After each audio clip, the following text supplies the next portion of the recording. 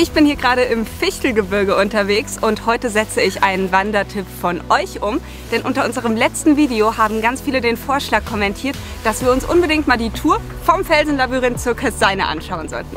Und das machen wir heute und euch viel Spaß dabei! Schön hier. Mega schön! Und jetzt so rein. Na dann, auf geht's.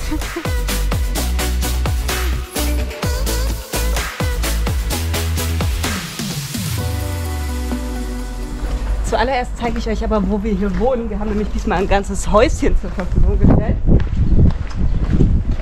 Gehen wir mal rein. Schalijupp. Open! Hereinspaziert! Hier kommen wir dann auch gleich schon in die Küche. Essbereich. Kamin ist bereits angeschürt und macht schön warm. Eine Runde durchs Wohnzimmer. Und dann geht es direkt in die Schlafräume rein. Ab nach unten.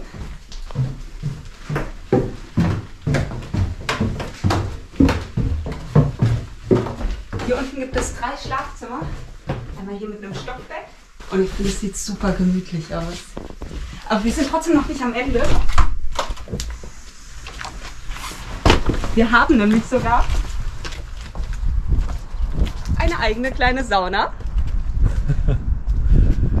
Und einen Hotpot. Da springen wir später auf jeden Fall noch rein. Hinter der Kamera ist natürlich auch Felix mit dabei. Servus. Also ich glaube, hier könnte ich den ganzen Tag aushalten. Ich auch. Aber das geht leider nicht. Wir haben nämlich noch viel vor. Wir wollen jetzt nämlich zuerst zum Felsenlabyrinth und dann noch zur Küsseine hochwandern.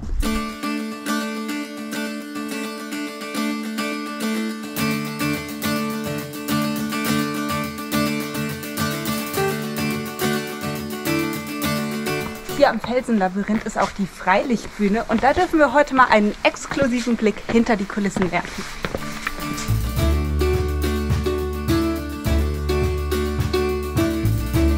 Geht's direkt auf die Bühne hoch.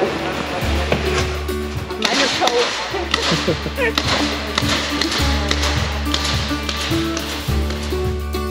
Ich sitze hier gerade schon auf einem der besten Plätze, denn aus diesen Reihen soll man den schönsten Überblick über die Bühne haben. Denn ihr müsst euch vorstellen, das Stück spielt nicht nur da unten, sondern auch auf all diesen Plattformen, die da oben im Fels so zu sehen sind. Und das ist auch eine der ältesten Freilichtbühnen in Deutschland. Bereits seit dem 16. Jahrhundert werden hier Stücke aufgeführt. Und dieses Jahr startet es die Saison mit den Trollen und dann geht es über den gesamten Sommer hinweg beinahe jeden Tag mit einer Aufführung weiter. Und da müsst ihr zum Teil echt früh sein, denn die Plätze sind in der Regel recht schnell ausgebucht. Wir möchten bitte einmal durchs Felsenlabyrinth durch.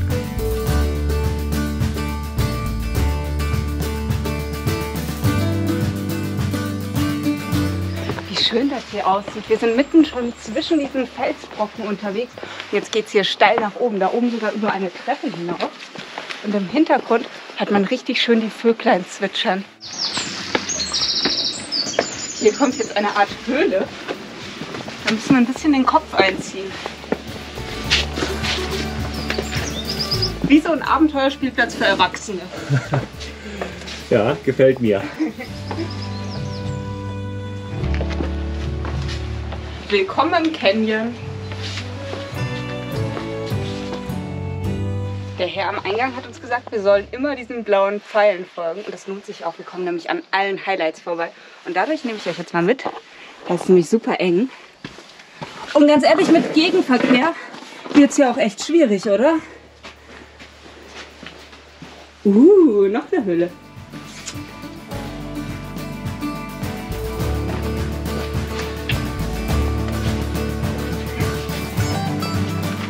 Bisher habe ich es noch ohne Beule dadurch geschafft. Labyrinthende. Und all das, was hier steht, Burgstein, Haberstein und Kösseine, schauen wir uns jetzt auch noch an.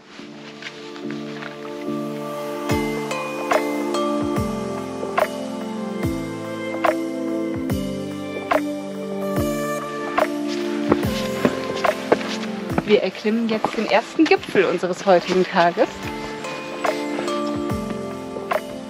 Und zack, sind wir über den Bäumen. Aber wir sind ja noch gar nicht am Ziel. Wir sind zwar jetzt schon auf 869 Meter Höhe. hier am Burgsteinfelsen. Das ist ein riesengroßer Granitbrocken und vom Eingang vom Felsenlabyrinth bis hierhin dauert es ungefähr eine Stunde. Und ihr seht, dass wir werden hier schon mit einer genialen Aussicht belohnt. Ich bin gespannt, ob wir das noch toppen können.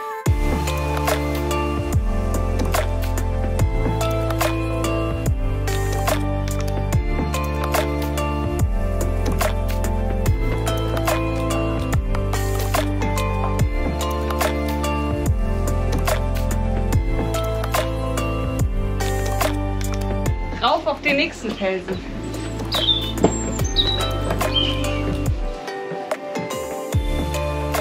Zweites Zwischenziel. Check, großer Haberstein. Und da drüben ist schon der Gipfel der Köseine zu sehen. Wenn ihr euch fragt, was es mit den kleinen Biotopen hier auf sich hat, das sind die sogenannten Druidenschalen. Denn lange Zeit ging man davon aus, dass früher zu heidnischer Zeit hier in diesen Schalen Opfergaben dargebracht wurden. Allerdings ist auch hier die Begründung recht simpel und eher uninteressant. Es ist nämlich doch nur durch Verwitterung entstanden.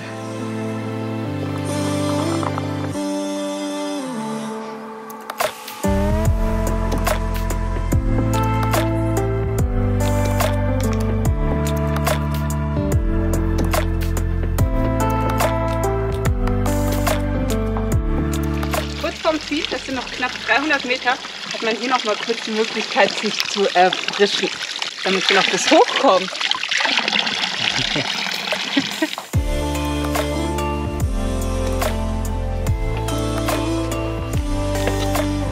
Wir sind direkt auf den Turm durchgestartet, um in alle Richtungen gucken zu können.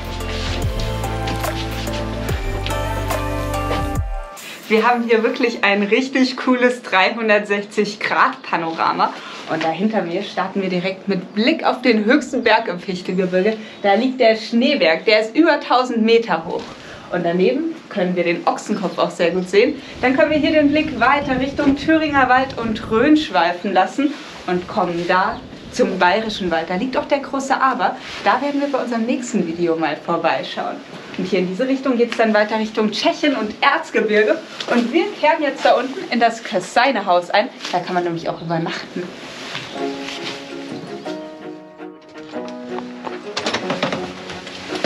Riecht schon gut. Hallo. Sie euch. wollen mal bei euch reingucken. Das ist aber schön. Herzlich willkommen auf der Gemeinde. Also wir haben hier zum Beispiel haben wir unser Vereinszimmer. Das ist noch die Originalausstattung so um 1900 rum. Es wurden äh, nur die Tischplatten mal erneuert, ansonsten ist alles, Fußboden, alles noch original. Noch Ja. rustikal und urig. Absolut, absolut. Und das wurde hier später angebaut. Das ist das sogenannte äh, Marktredwitzer Zimmer.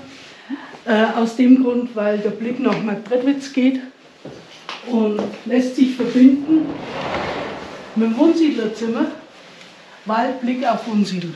Ne? Ja, Jetzt wollen wir noch mal einen Blick in die Zimmer werfen. aber sehr gern noch. Dann gehen wir mal Etage höher. Wir haben zwei Doppelzimmer, ein Dreibett, ein Vierbett und ein Zehnbettzimmer. Schaut gemütlich aus. Da kommt so ein bisschen Hüttenatmosphäre auf. Gucken, wie die Aussicht ist. Auch sehr schön. Weiter geht's nach Kleinwendern. Bis nach Kleinwendern wandern wir noch einmal gut eine Stunde. Der Abstecher dahin lohnt sich aber, denn hier werden Haustierrassen, die vom Aussterben bedroht sind, gezüchtet und erhalten. Über 200 Tiere leben in dem sogenannten Archedorf, darunter Reichshühner, bayerische Landgänse und Coburger Fuchsschafe. Die durfte ich sogar füttern.